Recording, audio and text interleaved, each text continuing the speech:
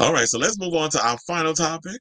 And let's talk about Roxxxy Andrews and Vanjie are out here beefing with Aura Mayari. It just seems like every week we have a drag race story where the girls is fighting. You know, we had the Plane Jane, Barbara Drag Queen beef. We had Mistress Isabelle Brooks, you know, um, reading her drag her former drag children, uh, Sugar and Spice. Trixie Mattel going in on Morphine. But I think like the Trixie and Morphine one wasn't really that much of a beef. And then also we had the one not too long ago, Eureka and um Kim Chi. That was a ju- that was a good one.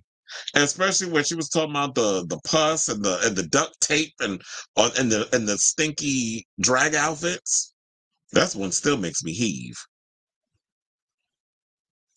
Anyway, um so let's get to the story. So now it says that the beef started because of the recent episode that just aired, episode four, where the queens were split into pairs for a group makeover challenge of four. Very, very bold firefighters. Remember that?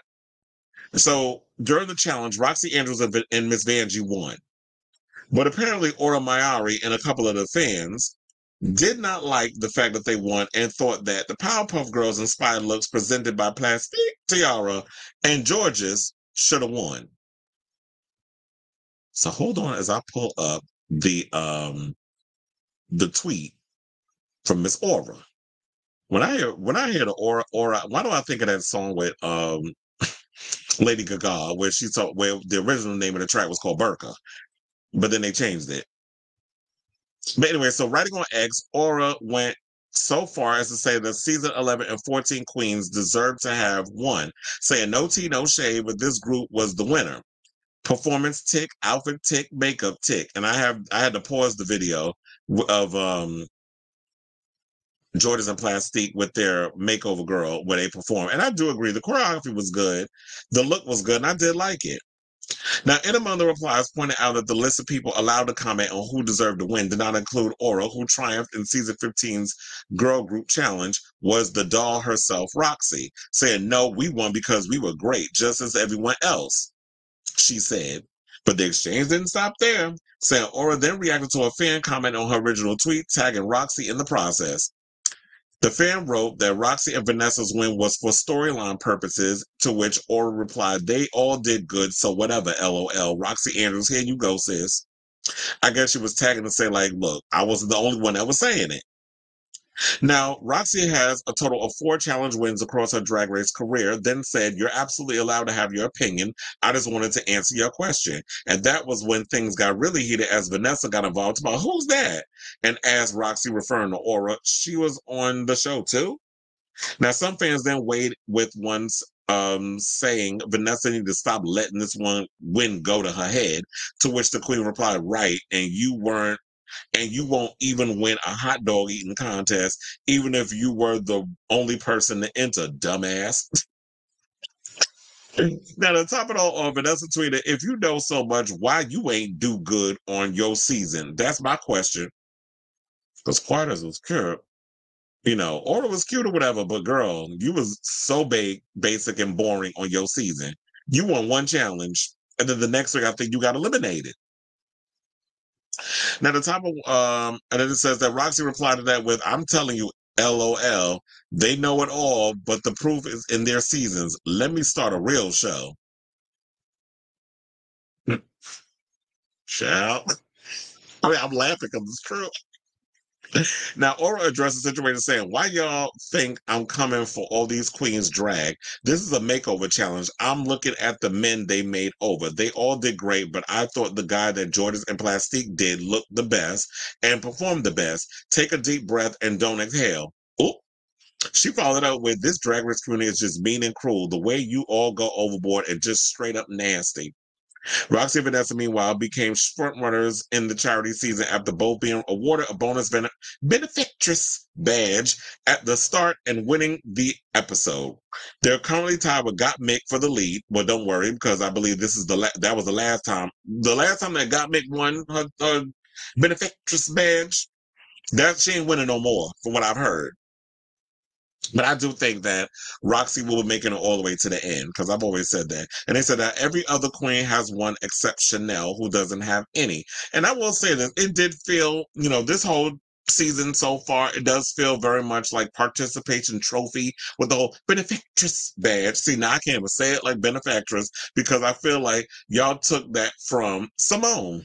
of course, I'll, you know, Simone and the people, the queens do things on the show.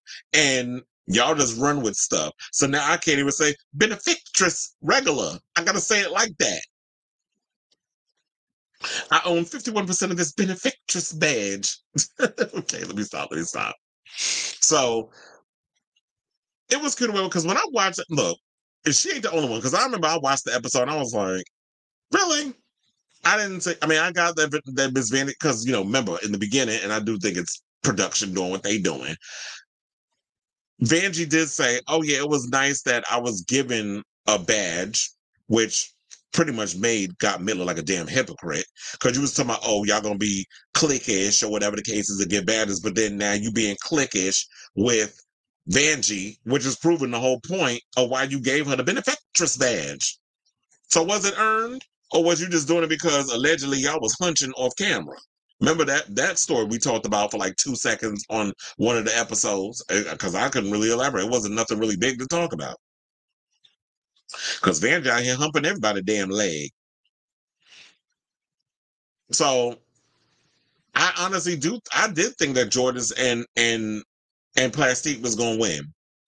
But remember, she was like, Miss Vanjie, she was like, oh well, you know, it was great that I got the benefactress badge, but I would like to win one by myself. It'd be nice to win one on my own. And then all of a sudden, she win it in the challenge because they put it in the thing. But I know they do the the you know the confessional interview thingy after the show was done. But it was good to interweave that in. Maybe they told it was scripted and they told them to say it, but I don't know. But you know, for production purposes, they do things to move the story forward. So I actually thought she was going to win that. I was not expecting that they were going to win. And I was like, yeah, it's y'all were all great, but at the end of the day, it's like, oh my gosh, it's just it's it is becoming like the the drag race fandom has become toxic. I feel like the drag race fandom has become toxic. The queens be fighting amongst each other, and then the fans want to jump in on the situation. Y'all making shit worse. So it's just hard, but. I'm here for it because y'all definitely helping my views. whenever I talk about these drag race beefs, you know, a lot of the, the, the viewers be watching, and I'm here for it. But you know what? I like Vanjie. Vanjie is a cackle. I like Roxxxy. She has definitely proven herself this season. I have not watched the episode that she was just on with Detox with Roscoe, you know, the Roscoe's episode. I definitely need to get around to that. But like I said, I've been so far behind on shows. So I definitely am going to try to see if I can watch that after the show. And once I can be something to eat, all the good stuff, because it is eight o'clock in New York and I did a four and a half hour show today. So um I say all this to say I'm here for the drama.